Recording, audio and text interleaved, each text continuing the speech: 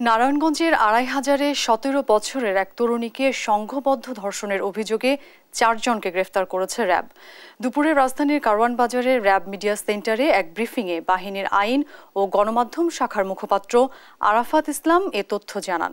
বলেন, মূলত ডাকাতির উদ্দেশ্যে দেশীয় অস্ত্র দিয়ে পরিবারটিকে জিম্মি করে সংঘবদ্ধ ডাকাত দল। কিন্তু মূল্যবান কিছু না পেয়ে পরে ওই তরুণীকে ধর্ষণ করে। ডাকাত দলের কাছ থেকে দেশীয় অস্ত্র, একটি শুটার গান, ডাকাতিতে ব্যবহৃত সিএনজি অটোরিকশা ও মোবাইল ফোন জব্দ করা হয়।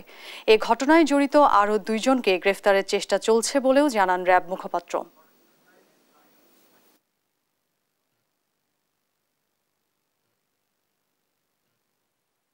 নারায়ণগঞ্জ এবং এর আশেপাশের এলাকায় দশ বারো জনের একটি দলবদ্ধ ডাকাত চক্র গড়ে তুলে।